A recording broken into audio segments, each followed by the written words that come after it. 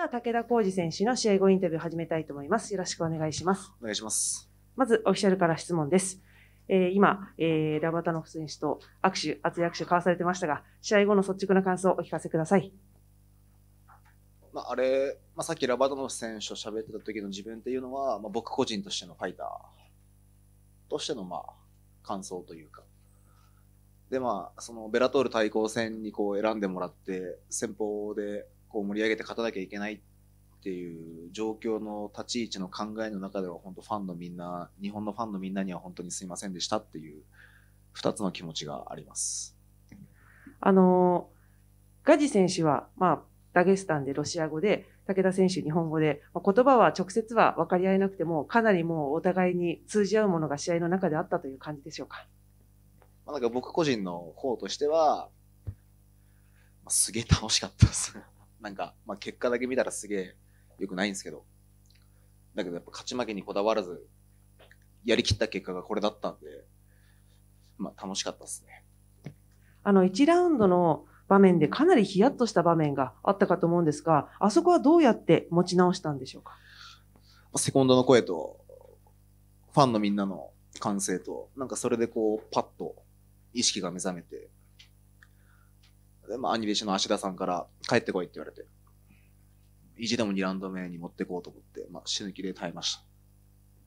ありがとうございます。実際にこう、拳を交えて、えー、ラバタノフ選手、どういったところが特にすごい長けていた選手だったかと教えていただけますか？まあ、反省点として言えば、ちょっと兄さん、まあ、最後か、ちょっとバテてる印象がすごいあったんですけど、まあ、その分僕もやっぱりこう、組で、もうバック取られて、コントロールされたのも初めてだし、試合中にバックコントロールされて、そういうところでコントロールされちゃって僕も削られてたんで、だからお互いにバテてるところはあったんですけど、やっぱもっとこう、スタンドの攻防をもっと僕もやらなきゃいけないなっていうふうに思いましたね。ありがとうございます。えー、最後、先ほどちょうど武田選手がいらっしゃった時に、えー、ラバダノフ選手があのリング上でお互い抱き合った時にかけていた言葉を教えていただいたんですが、武田選手は何と声をかけていたんでしょうか？え今さっき言ったことを言いました。あの もうまさにさっきの ありがとうと。うん。なるほど。そんだけですね。別に僕はやっぱりなんだろうな。煽ったりとかしないじゃないですか。やっぱこう対戦相手がいるからこそやっぱりこう、ファイト、試合ができるっていう。んで、やっぱヌルマゴ一族のラゲスタンの選手で、そんなトップファイターがやっぱり僕とやってくれるってことにはすごい敬意もあるし、感謝もしてるんで、だからありがとうって感じですね。ありがとうございます。それでは今回対抗戦ということで試合をの経験を積みました。今後の展望というのを教えてください。まあちょっとこう、今年は4戦試合をして、ちょっとこう、すごい疲れちゃったのかなって思ってる自分もいて、まあちょっと休もうかなと。なんか肉体的にも精神的にも、ガタは来てるところはあるかもしれないんで、まあ、だからまあ少しはちょっとこう、休んで、格闘技以外のことでも少しやろうかなと思って、な、なんだろ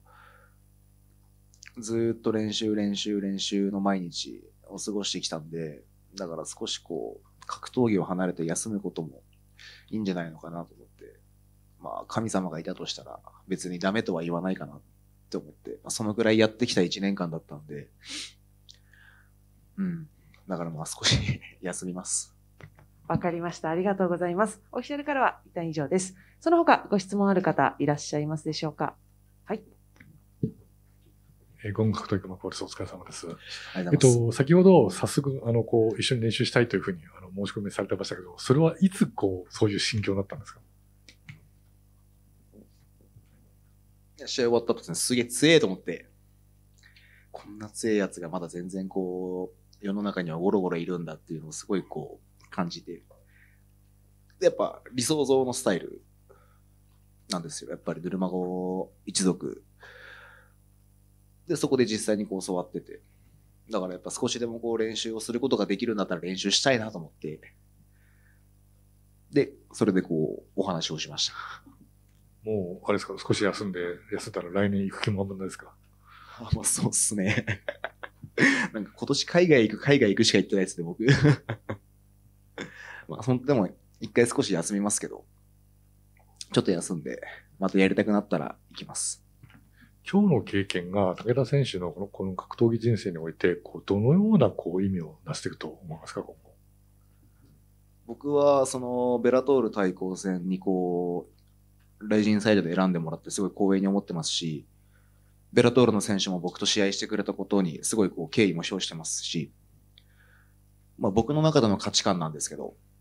USC とかベラトールとかワンチャンピオンシップとかいろいろ海外でトップ団体があると思うんですけど、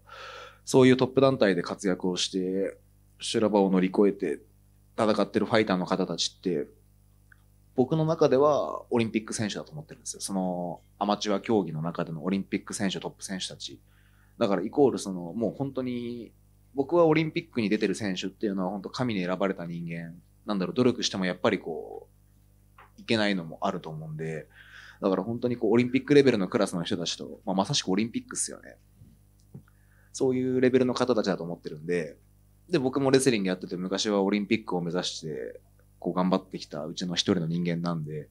競技は違えど、こう、オリンピッククラスの人たちとトップ団体で試合をすることができて、すごい嬉しいなっていうふうに思いましたね。で、あとはやっぱり乗り越えなきゃいけないなって思いました。ありがとうございます。他ご質問ある方、はい。